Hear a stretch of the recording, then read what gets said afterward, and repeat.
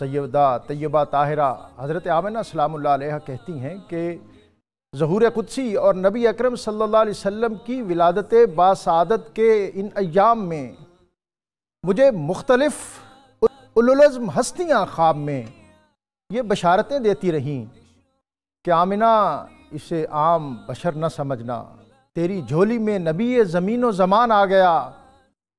آمنہ تجھے مبارک ہو، تیری گود میں سارا جہان آ گیا۔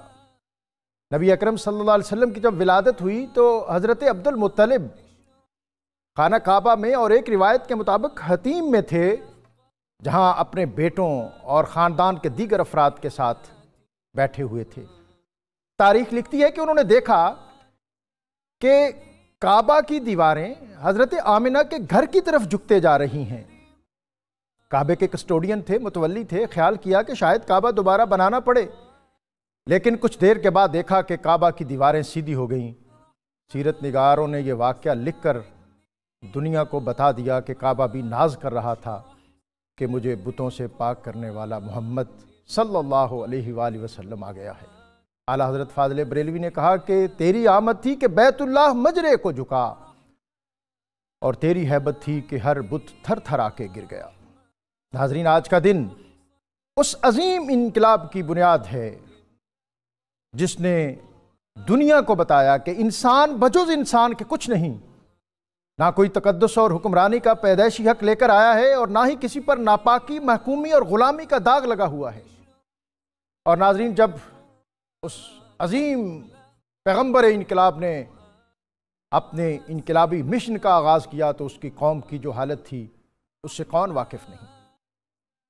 بقول حالی، عرب جس کا چرچا ہے، یہ کچھ وہ کیا تھا؟ جہاں سے الگ ایک جزیرہ نما تھا۔ چلن ان کے جتنے تھے سب وحشیانہ۔ ہر ایک لوٹ اور مار میں تھا یگانا فسادوں میں کٹتا تھا ان کا زمانہ۔ نہ تھا کوئی قانون کا تازیانہ۔ وہ تھے قتل و غارت میں چالاک ایسے۔ درندے ہوں جنگل میں بے باک جیسے۔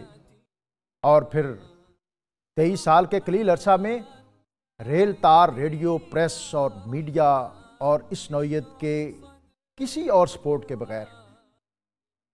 بائیس لاکھ مربع بیل میں پھیلے ہوئے ریگستان کے منتشر جنگجو جاہل، سرکش اور غیر متمدن قبائل کو ایک نظام حکومت کے تابع کر دیا۔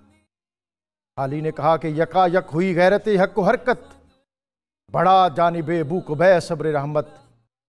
ادا خاک کے بتہ نے کی وہ ودیت چلے آتے تھے جس کی دیتے شہادت ہوئی پہلوے آمنہ سے ہویدہ دعائے خلیل اور نوید مسیحہ نبی اکرم رسول محتشم صلی اللہ علیہ وسلم کی تشریف آوری سے دنیا جس انقلاب سے روشناس ہوئی، اس نے فرد سے لے کر معاشرے تک کو کیا انعامات عطا کیے؟